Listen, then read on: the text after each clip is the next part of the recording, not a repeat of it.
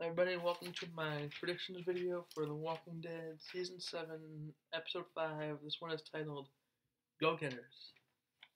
Man, there are all a bunch of go getters in this world right now. Maybe because they're all going and getting stuff from Negan. I don't know. Sometimes the titles are funny. Okay, we are back at the hilltop for the first time since Season 6, Episode 11. Jesus, for the first time since episode 12 of last season, Jesus is making an appearance. We have not seen him since then. So hopefully he'll get a lot of screen time in this one. That's I'm predicting he's gonna have a pretty big part helping Maggie and Sasha out. Since Gregory is a complete selfish jerk. Jesus is the selfless one in the group. Okay, so Gregory's gonna blame Rick. So they, said they could take care of the Saviors. Now that we're now we're, we're worse off than when we began. Saviors are gonna arrive at the hilltop to get their tribute with our good friend Simon. What if it, what if it was the last day on earth for one of your people? That guy. Got a pen? Carl saying to Enid, I'm not saving you anymore. Enid wants to go to the hilltop, so Carl's probably going to end up going with her. Where is Michonne going, and where did Rick go? One of the sneak peek scenes is Carl talking to Michonne, saying, Why didn't you go with my father? Where did Rick go? Where's Michonne going? Where she has to work something out? I don't know.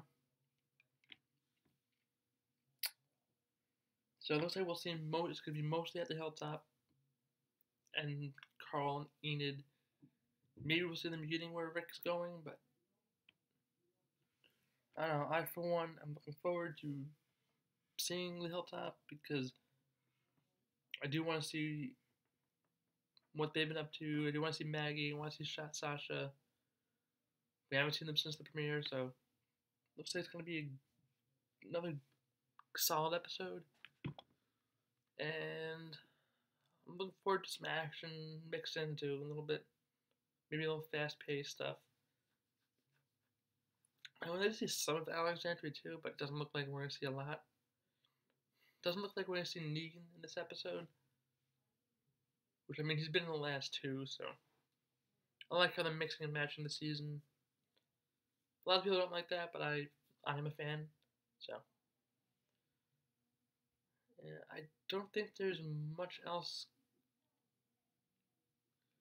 to go off of. Hilltop, Carl needed going to the hilltop. Will they get there? Depending, they might get there this episode. I think they're gonna get there this episode. Based on what I've been reading, I think they're gonna get there. And then Maggie I hope the Saviors really hope the Saviors don't discover Maggie there because that's not going to be good. Because of Gabriel's ruse to fake her death. Because she doesn't know. She has no idea that they're trying to fake her death. But because of her state, she's sick, so she might be off hidden somewhere. Dr. Carlson? Car- Dr. Carson, not Carlson. Carson. so. Man and Sasha will be with her, and Jesus. Gregory's going to be no help to anybody but himself, so we'll see how that plays out. But other than that, I think that's everything. And I'm going to call this one a little bit short. I had my review went on a little longer than normal, but I'm going to call this one, don't see much else to talk about. But it should be a good episode. Enjoy it. I should have these videos up shortly after now. And definitely before the episode airs, I will have these up for you. Yeah, enjoy the episode, and if I don't get a video up before Thanksgiving,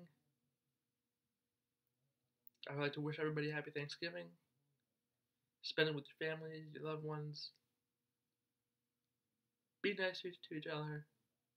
I know I'm sounding like Chris Hardwick, but be really be nice to each other. Don't try not. I know a lot of people have political stuff going on right now. Just, Thanksgiving, it's not. It's not about that. It's just about spending time with your families and being around the pe- people you love and care about. So enjoy it, and I will see you guys when for my review, whenever whenever that is. But peace, everybody.